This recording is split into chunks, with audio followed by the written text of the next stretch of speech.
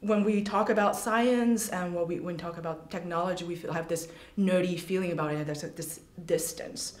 Um, but when we talk about theater or art, there's more of this. Oh yeah, maybe I can experience this way, and I can experience a different way. So there's more, maybe more accessible in um, for art than technology or science. So I think that's what maybe art can provide for science that we give a, a different way for people to experience what the technology is, what the science is about.